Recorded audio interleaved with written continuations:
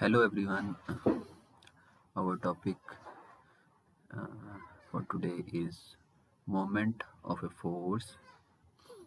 How to calculate moment of a force by using vector formulation.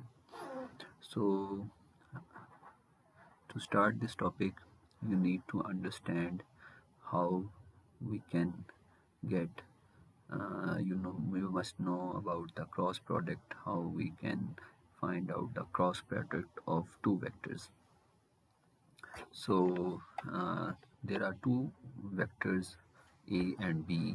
If we want to have their cross product then uh, its magnitude will be equal to c is equal to a b sine theta. And direction of this cross product will be found by using right hand rule so uh, your fingers uh, it is uh, its direction is found by uh, its direction is found by uh, using right hand rule and uh, your thumb is directed along the moment or the resultant of A cross B cross product of A and B. So this is the basic information of the cross product how to find its magnitude. Its magnitude is found by find by AB sine theta and its direction is found by using right hand rule.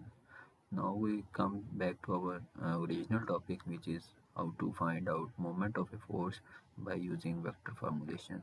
So moment of a force is found by cross product of two vectors r vector and f vector. So this is an important formula that is going, going to be used in the upcoming examples. Also this is the formula that will be used in the examples. So you can see that uh, r cross f means that you will write r vector and f vector in the form of Cartesian coordinates x, y and z and then you will uh, find out the value of this determinant and you will get the answer in the form of moment about point O. So this is the vector formulation that is going to be used in the upcoming example.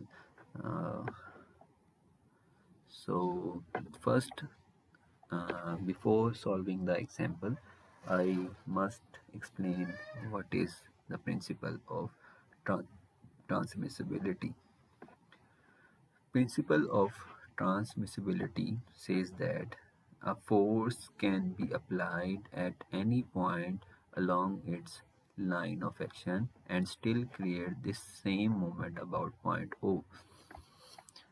So uh, it says that this force can be applied at any point. This is the line of action of this force and it can be applied at at any point it can be applied here at it can be applied at point this at this point or it can also be applied at any point at this line of action but the results will not change. That means result uh, moment that is produced by this force at about point O will not be altered. So it is shown in this equation as well that if we uh, uh, uh, we have a cross product of r1 and f is equal to r2 cross f and is also equal to r3 cross f so we will we will prove this principle in the upcoming example as well and uh, we see that uh, that uh, how this principle of transmissibility is applicable. So this is an example. In this example, uh, it is being asked that determine the moment produced by the force in figure about point O. Express the result as a Cartesian vector. So you need to find the cross uh, moment. You need to find the moment due to the force. This is the force of 2 kilonewton about point O this is point O you can see here. This is the bottom of that tree. And uh, is also asking you to express the moment in the form of Cartesian vector. That means in the x y z form. I j k form. So now you can see here that its solution starts from writing the position vector first.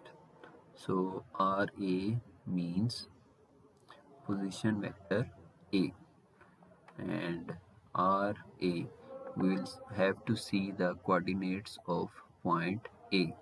You you can see here that at point o the coordinates are 0 0 and 0 that means x y and z are 0 and at point a only uh, point a is on the z axis. So x and y for point a will be 0 and only the z coordinate which is equal to 12 you can see here that point o is 12 meter away from point a.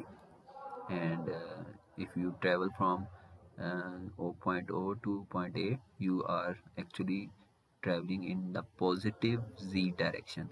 That is that you are going on the upside. And on the upside the Z is positive. So this is plus positive 12k you can see here that RA is equal to 12k then we will write down the position vector RB.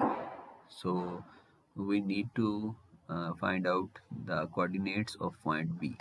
For this you can see here this is um, RB position vector and you can see that uh, the coordinates of point B this is point B and uh, this distance uh, is in the positive x this is x uh, so x is positive on the this left side and you can see this uh, 4 meter is parallel to this x axis line.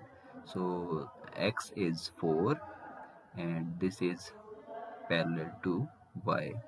Oh, and you can see here y is positive on this side which is the right side of this screen.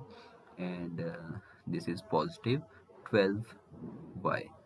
So 12 uh, will be written in the form of unit vector 12j so 4i plus 12j you can see here this is 4i plus 12j so uh, we have now found uh, position vectors ra and rb now we need to have force vectors.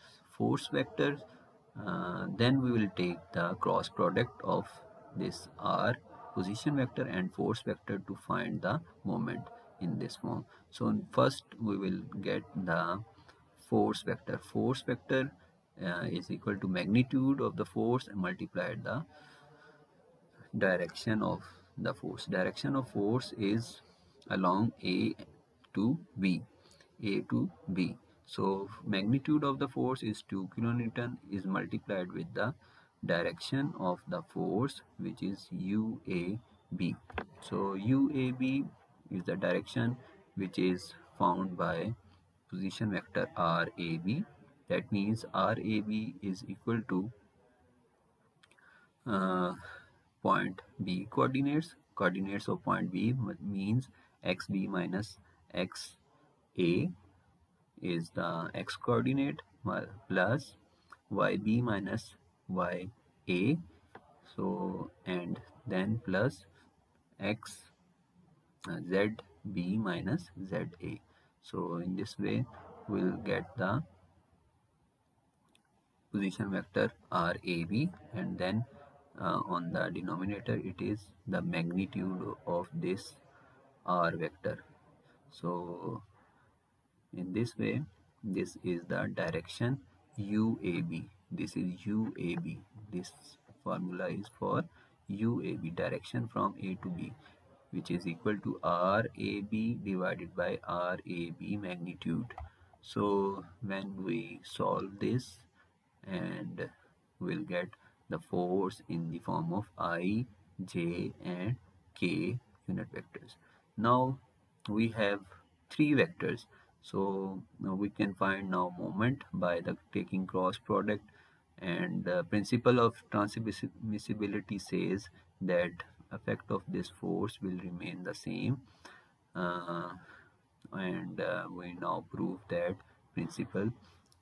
Uh, you can see here that uh, if we multiply the force with, with RA or RB the result is the answer is same. So r vector and f vector is written in the form of ijk in into this determinant and this determinant is solved which is quite easy and you will get the answer